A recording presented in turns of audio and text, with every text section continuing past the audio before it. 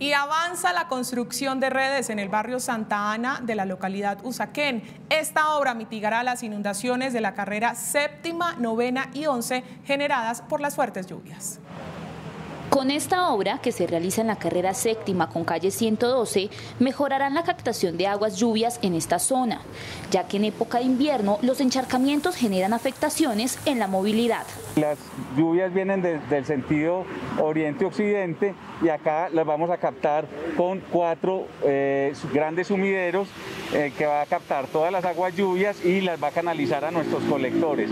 Estas obras también beneficiarán a los habitantes del sector de Santa Ana, ya que debido a las fuertes lluvias se generaban encharcamientos en sus conjuntos residenciales.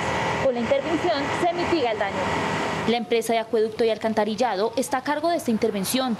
Diseñó las obras en 2020 e inició la construcción en enero de este año. La obra lleva un avance del 90%.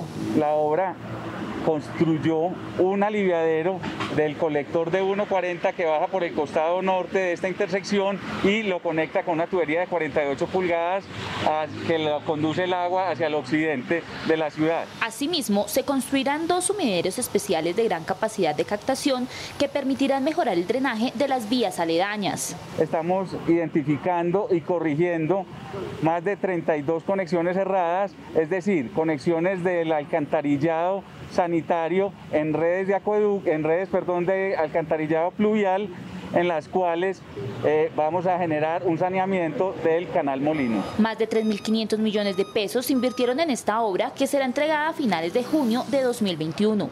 Los beneficiados serán los habitantes de la localidad Usaquén y ciudadanos que se movilizan por las carreras séptima, novena y once, ya que disminuirán los trancones. Y para ampliar